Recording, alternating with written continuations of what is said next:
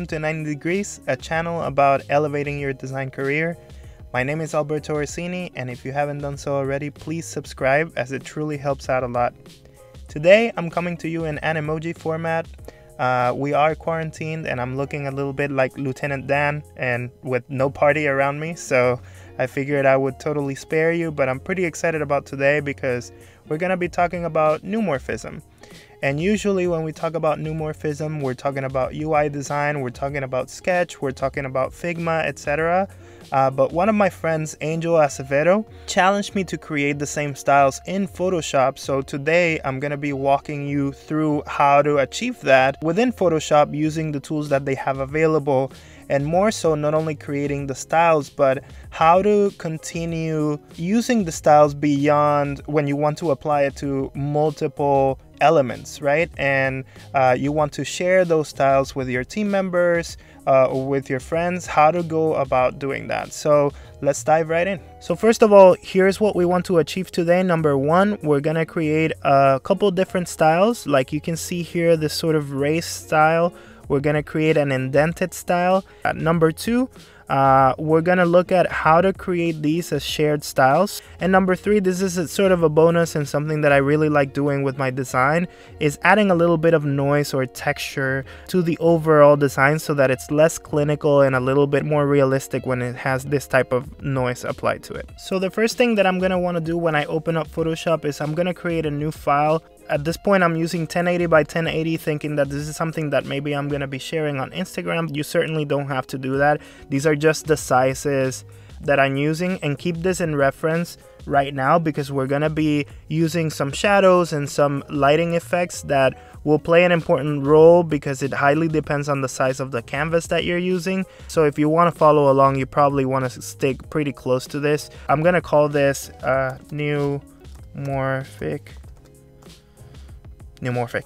Let's just leave it at that. So I'm doing 1080 by 1080, 72 dpi, and I'm gonna keep the background white even though we're actually gonna be changing that. So the first thing that I wanna do here is I'm actually gonna change the background color. I'm gonna select a color that is sort of off-white. I don't want to use plain white because I'm actually going to use plain white to do the highlights whenever I do those effects of racing or indenting. So I'm gonna choose a color. I'm gonna use the same one that I was using before just for the reference uh, here, but you can choose anything sort of like around this area basically and colorize it in any way that you would want or just stick to the gray all the way to the left. So I'm gonna I'm gonna use the hex value here. I'm gonna do F0 E FF7 Final Fantasy 7. I'm super excited about that coming out next month.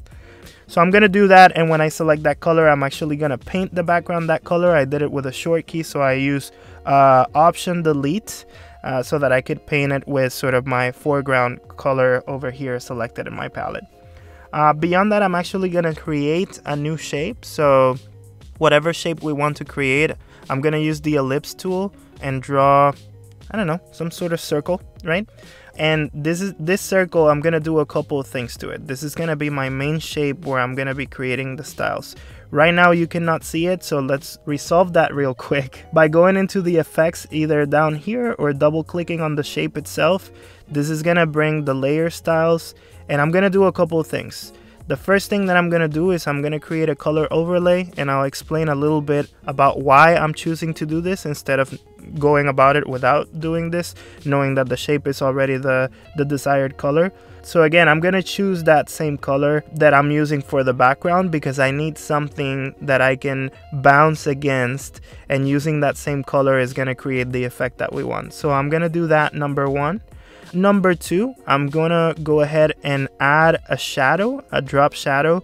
You should probably see it over here, but I, uh, on purpose, I deleted these. So I'm gonna select a drop shadow. Um, the first one, I'm gonna change it to normal because we don't need it to be anything else. The first one that I'm gonna do is I'm gonna create the highlight. So I'm gonna change this all the way to white. Uh, let me try to get this out of the way so that we can start seeing, hopefully we can start seeing the effect I'm gonna do that at 100% because we want it to be 100% white. This is very subtle uh, out here, so maybe you cannot see it, but I'm gonna change it to 100%. I want this to be at an angle, so I'm gonna go over here to maybe like negative 45 degrees, and this is really just dictating where is the light coming from into, into this. Now I have some values here that I've already written down, which are 20, 10, and then 25 again you don't have to use these exactly. However you can play with these values depending on the size of your element the size of your canvas. These can uh, vary slightly. Now before closing out of here we want to create yet another shadow. Oh one important thing. I'm gonna unclick use global light because i'm gonna be repeating uh, some of these and creating different effects. I don't want everything to be following exactly the same light source. So really important.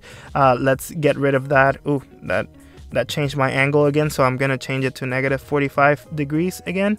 I'm gonna create on this plus icon to create a new drop shadow. And this drop shadow is gonna be slightly different. This is gonna be an actual shadow rather than a highlight. I'm gonna go ahead and change it to another color. I'm using something in the blue tints so I'm gonna go with 2A254D, 254D. And, and that's gonna give me sort of that purplish color that I want.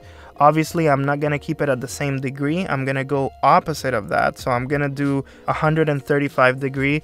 Obviously, that is way, way too dark from what we need. So we're gonna go down here to about 16%, uh, which already you can start seeing the effect that we want taking shape and I'm gonna keep the other values exactly the same. So I'm gonna click OK and that's gonna be that's gonna be the, the first one that I created, sort of my raised one. If I want to create new shapes beyond this, let's say I draw a polygon uh, and I want to use exactly the same layer styles, I can simply go to this one, right click it, and I can, where are you at? I can copy the layer style from over here, I, I lost it for a little bit, and click back on my polygon that I just created, right click again, and then paste the layer style, which is gonna which is gonna add the same effect that's pretty good, uh, but I want to take that a little bit of a step further so that I can easily do that. And not only that, but I can share these styles with some of my coworkers. Let's say that we're working on some files together uh, and they need to have access to the same styles, or I want to share it with some friends. I should be able to do that. So in order to do that, you're going to go to your effects panel.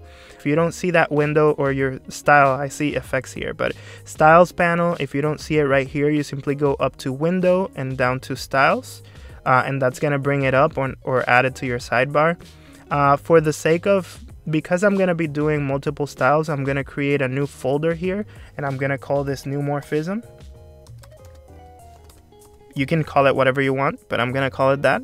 And inside of neumorphism, I'm actually going to select some of these shapes and I'm going to click this plus icon and I'm going to call this raised one, which is the style that I'm that I'm creating. I'm to include layer effects. I'm to include layer blending options, although I don't think I'm using any blending options.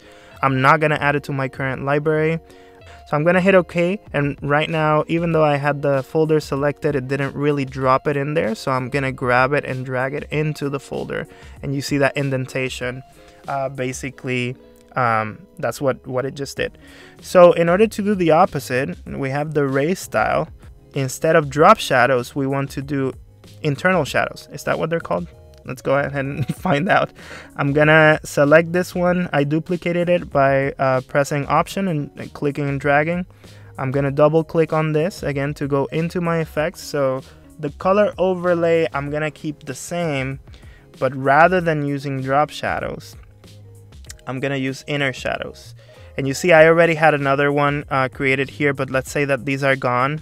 You'll do the same thing as I did with the drop shadows where you create the first one and then you click the plus icon to add another one and you repeat the process.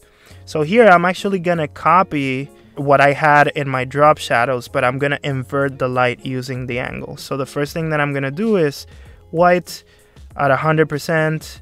Instead of negative, uh, negative 45, I'm gonna go over to uh, 135. Uh, uncheck use global light if it's checked and use exactly the same values that I had before, which are 20, 10, 25. Okay? and that's already creating obviously you know it's mixing with the with the outside um, drop shadow which is creating sort of a funky effect actually I'm, I'm seeing something that I didn't want to do I do want to keep this one at negative 45 because uh, if you see on on my raised ones my light source is coming from the top generate casting a shadow on the bottom right and generating a highlight on the top left. So I want to I want to create that same effect with my with my indented one. Uh, I'm gonna add another inner shadow. This will be at 135 degrees. We're gonna drop it to 16 again we're recreating exactly the same thing that we did before. And then uh, for my hex value I'm going to do the what was it? To a 25 4D and I'm gonna I'm gonna bring that in there again at 16 and before closing out of this I want to get rid of these shadows. So I don't need them anymore because this is indented. Beautiful. So now I have my raised style right? And I have my indented style. And we can we can even combine some of those. But before I go any further I want to save this. So in order to save it again I go to my styles panel. I'm gonna click on this plus and I'm gonna call this indent one. And I have that in there. Now this is this is where it starts getting really interesting let's say that I wanted to do this indentation and I wanted to do another circle inside of this that is smaller and raised to create a sort of kind of like a button effect. I can duplicate this. I'm gonna do this by hitting, uh, having it selected and hitting Command J on my keyboard. That basically created a new one, did it? Or am I making, yeah. Uh, it created another one, so I'm gonna hold Option as I resize from the corner so that I'm resizing in the, in the center. I'm gonna press return and with that element selected, now that I have my shared styles over here, I can click on raised. And as you can see, it now looks like I have a button in the center of this sort of um, indented area and the effect is is is pretty cool you know? You could do any number of combinations around this. Once you're happy with everything that you have and you've saved everything here as part of your styles you can actually right click on this folder and export these uh, selected styles and sort of give it a name, whatever you want to call it. So let's say this is also called neumorphism or neumorphic as we have the uh, in our file. Um, once I save that, I can share it with my friends, I can share it with my coworkers. They can double click it and automatically have those styles available to them on their side. Finally, something that I really like doing uh, with a lot of my designs is adding a little bit of noise or texture. Uh, so in order to do that, I'm gonna create a new layer on top of everything. And that layer, I'm gonna call it, um, I'm not gonna call it anything, sorry. I'm gonna color it in uh, whatever color I wanna use. Let's say I wanna use this sort of like hot pink or something like that. Uh, I can certainly do that. I'm gonna um, click um, option delete to paint this with um, with my foreground color over here. Instead of normal, I'm gonna change that layer style to probably overlay so that you can already see, you know, what the, the sort of effect that it's having. Uh, over here, it's looking a little bit like Pepto-Bismol. I don't know if I want to change this to another color. Anyway, I want to drop the opacity uh, as well, so I'll probably do like a 70%. Then I'm going to go into filter, noise, add noise, and then whatever uh, level of noise you're sort of comfortable with. I think I'm I'm comfortable at around 20. I'm gonna go ahead and hit OK, and now you can see that my file has noise. Uh, I don't know how to best describe it, but noise adding a little bit of texture. Thank you so much for joining me today. I really appreciate it. Uh, please subscribe. Consider subscribing if you haven't done so already, and I'll catch you on the next video.